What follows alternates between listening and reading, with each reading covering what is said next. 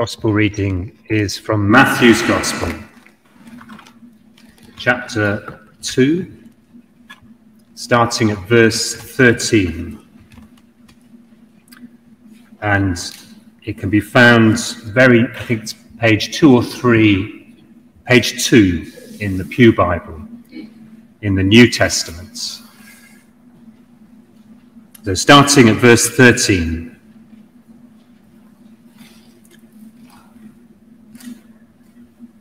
Now, after they had left, an angel of the Lord appeared to Joseph in a dream. Sorry, I just, that's after the wise men had left.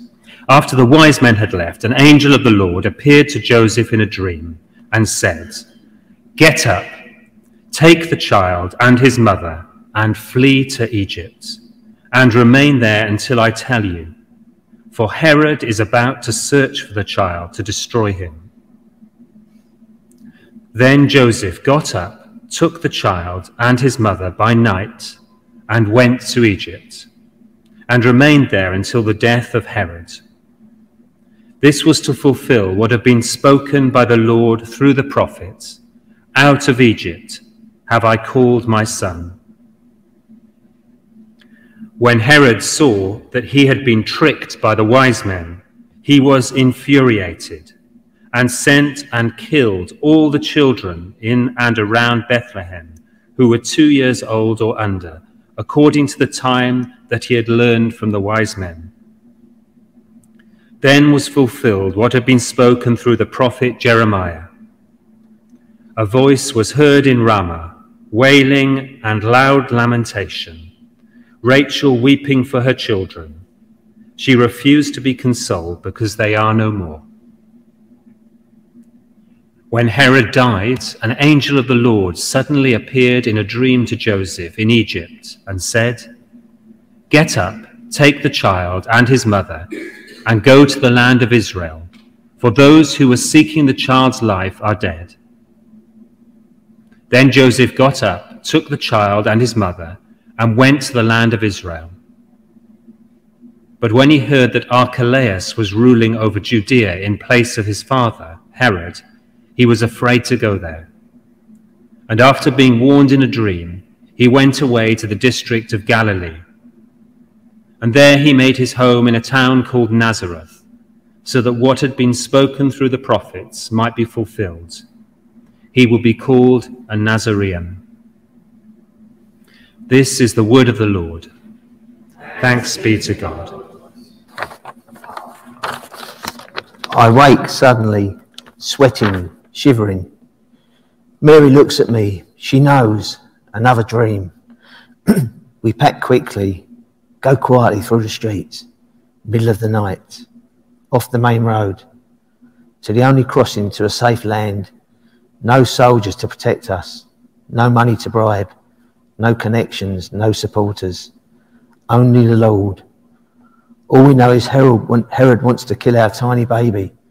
What harm can our Jesus do? In the houses, the children sleep, oblivious, while we make our escape. They won't be so lucky. Herod thwarted, sends his soldiers to kill every child under two in Bethlehem. when I hear, I feel so guilty. A rich man who builds pagan temples, murders his own family, yet claims to be one of us. An old king of the Jews fears a rival even a tiny baby, with the same calling. It's politics, dangerous business. I'll tell our son to stay well clear of politics and kings. So we wait in Egypt. In the end, all Herod's powers and privileges can't stop his own death. I say to Jesus, no one lives forever.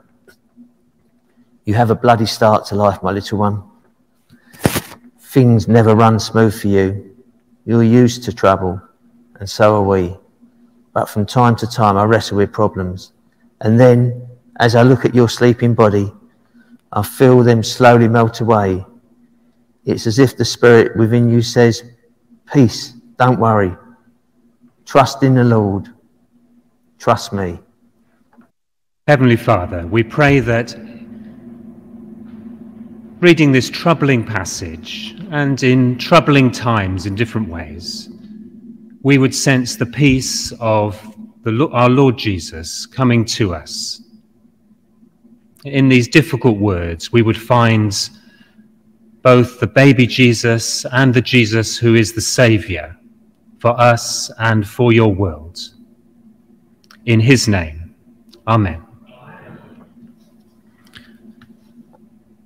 So, our passage today is the conclusion of the Christmas story in Matthew, but maybe not the conclusion we would have wanted if we had written the story. Um, this story of uh, fear, a story of a refugee family fleeing from a tyrant who is out to destroy them. Um,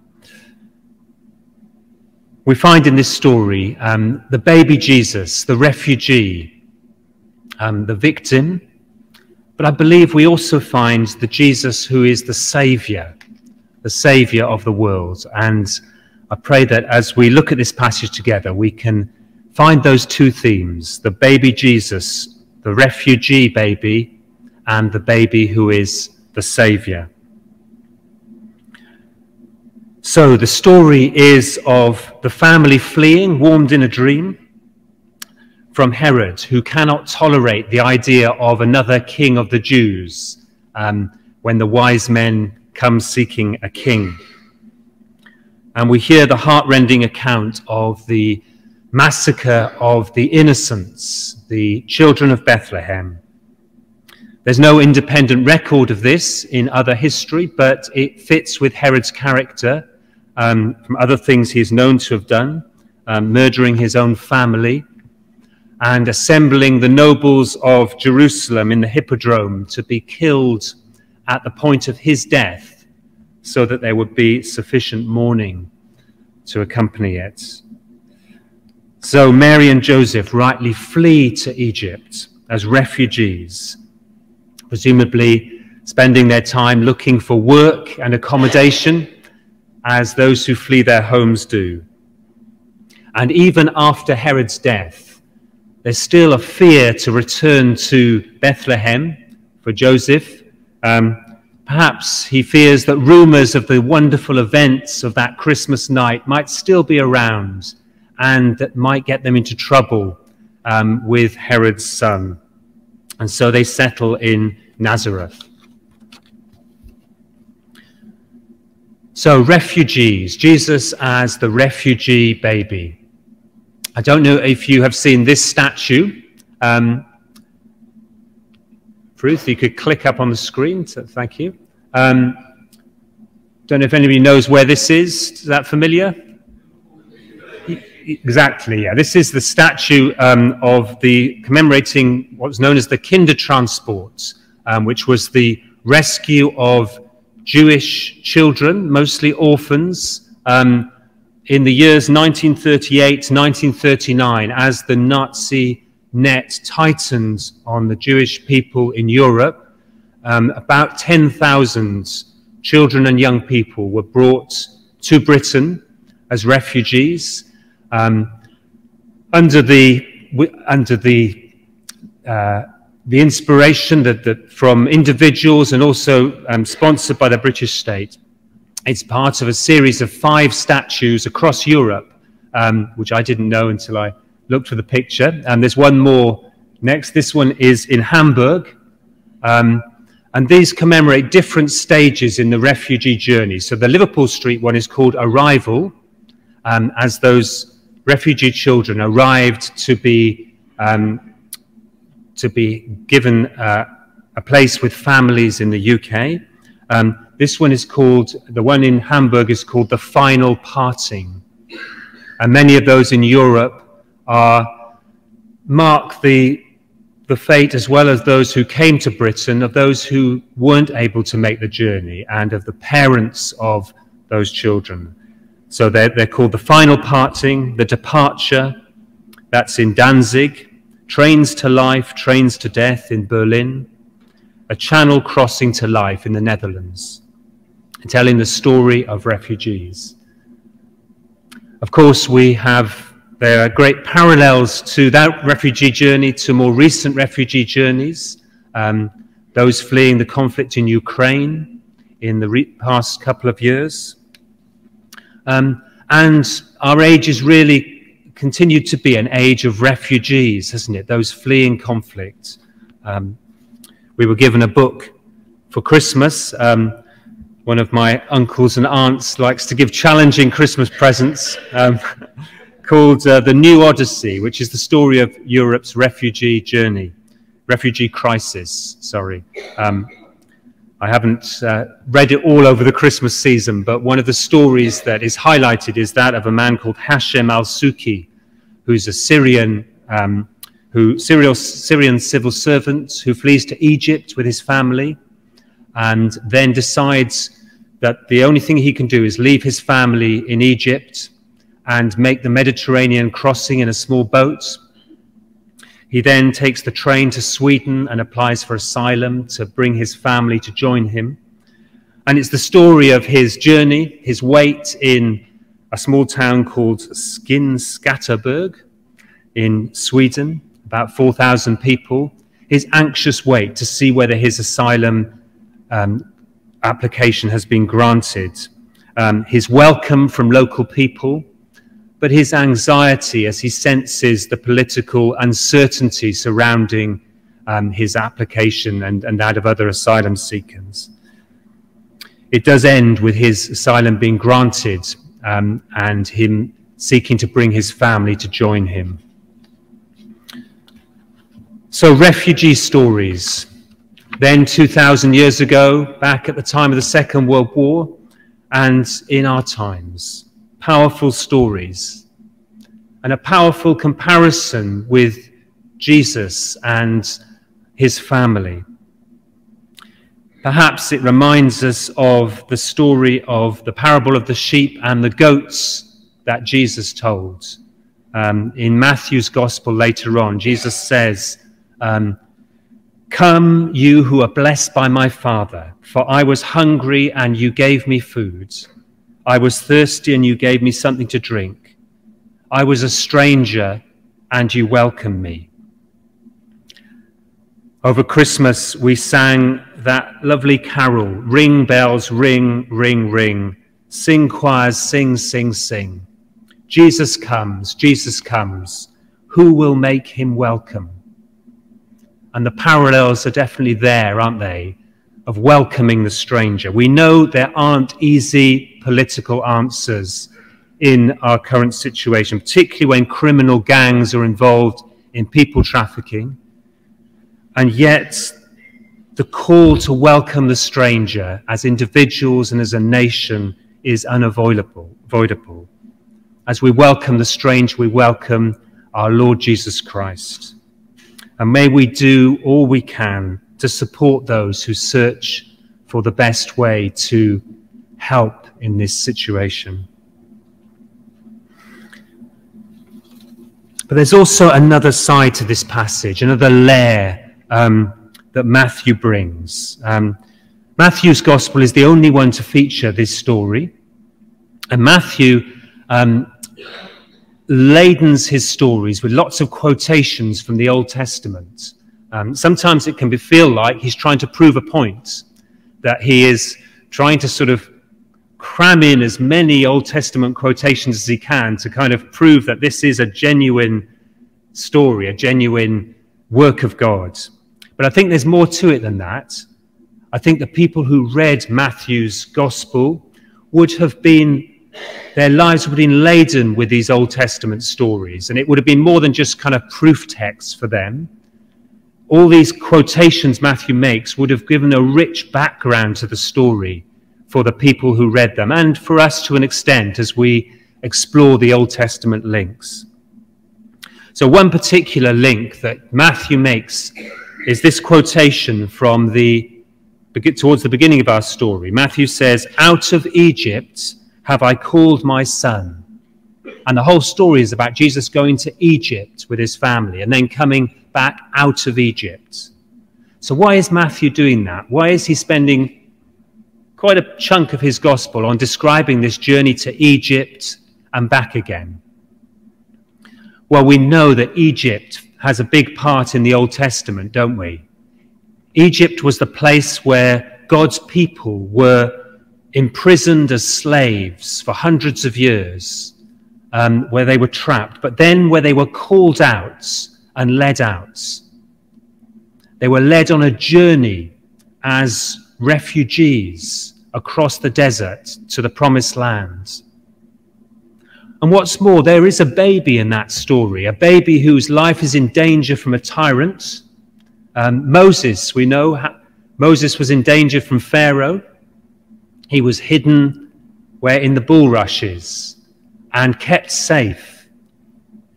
So Moses, a template perhaps for Jesus being kept safe in Egypt.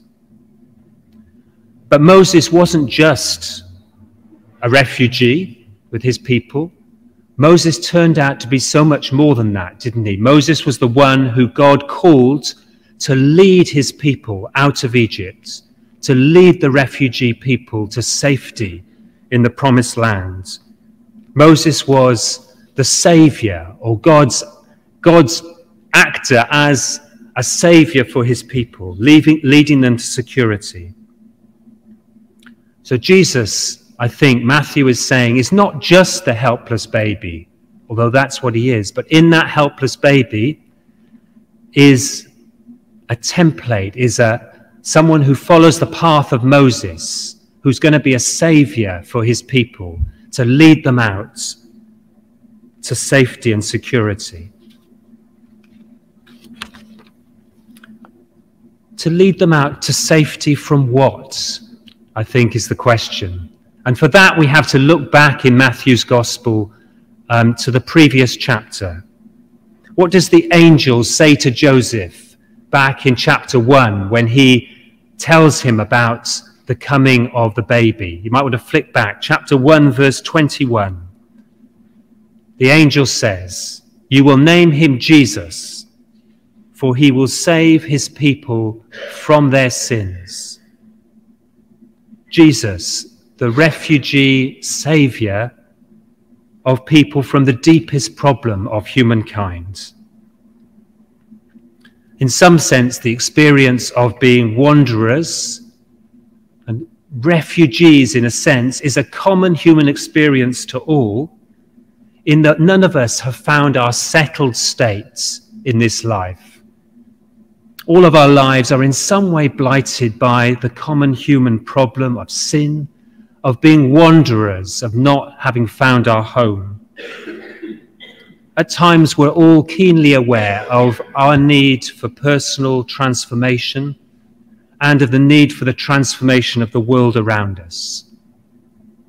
Jesus, a refugee savior, the one who came to seek the wanderers to bring them back again. Just as Moses led the people of Israel safely through the wilderness out of Egypt, Matthew is saying that Jesus will lead his people and us to safety. What a wonderful promise. The promise that Jesus will come and live in our hearts. Another carol. Um, o holy child of Bethlehem, descend to us, we pray.